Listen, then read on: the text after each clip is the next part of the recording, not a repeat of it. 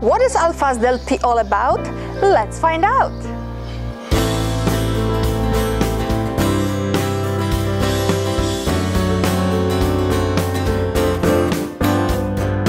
I don't know, it's just a different way of life over here.